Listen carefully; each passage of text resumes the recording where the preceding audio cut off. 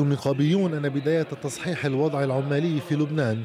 يجب أن ينطلق من تعديل النظام الداخلي للاتحاد العمالي العام لتصبح قدرة كل اتحاد في داخله على التصويت تحدد بحسب عدد المنتسبين إليه.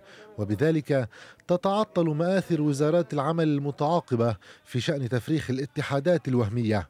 من هنا ينطلق السجال في شأن دور هذه الوزارة. دور يندرج ضمن الوساطة النزيهة في نظام اقتصادي وسياسي سمته كما حددته مقدمة الدستور السمة الليبرالية لما أنت ببلد وبدك تيجي تعمل وسيط أو تفاوض بين أطراف إنتاج بده يكون في توازن ولو نسبي بين هالطرفين. ما يكون واحد لاقط الثاني على رقبته وقادر يخنقه ويبتزه ويهدده بأي لحظة.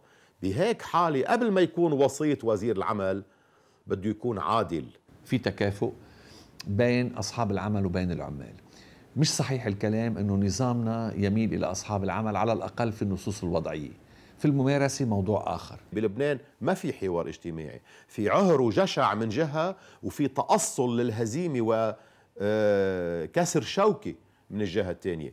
هذا الوضع الحقيقي. مش وضع نحن منا بألمانيا أو بالسويد. مشان هيك في لبنانية بيراحوا بيروحوا يهاجروا على السويد وما شفت كثير سويدية بيجوا بيهاجروا على لبنان قد ما العيشة هون فيها احترام لكرامة الناس.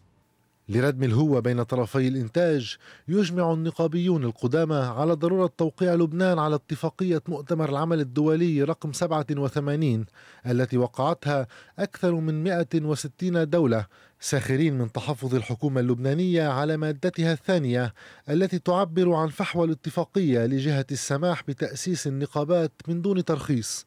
تحفظ يعلله جريصاتي بنكون عم نتفادى مسألتين. طفرة وعدم إمكانية التوثيق. ولكن المسألة تاني الاختبار بموضوع العلم والخبر للأحزاب السياسية لم يأتي بنجاحات باهرة.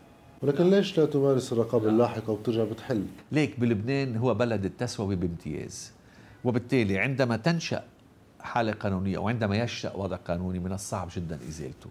غير أن المستغرب أن لبنان وقع عام 72 على العهد الدولي الخاص بالحقوق الاقتصادية والاجتماعية والثقافية الصادر عن الأمم المتحدة والذي يكفل الحق بتأسيس النقابات من دون قيود.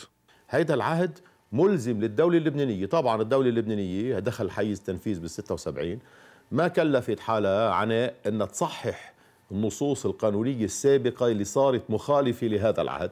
بقى بقي هذا الالتباس وللأسف لا يعتد حتى اليوم إداريا بهذه العهود المتقدمة وبعد متمسكين بالنص القديم. إذا في غياب أي مظهر من مظاهر الدولة لن يصلح ما بالعمال حتى يصلحوا ما بأنفسهم. تحت أعين وزارات العمل المتعاقبة والتي تمتلك مفاتيح الحل والربط سقط الاتحاد العمالي العام في امتحان السياسة قبل أن تظهر هيئة التنسيق والامتحانات الكثيرة لا تزال أمامها. جاد غصن قناة الجديد.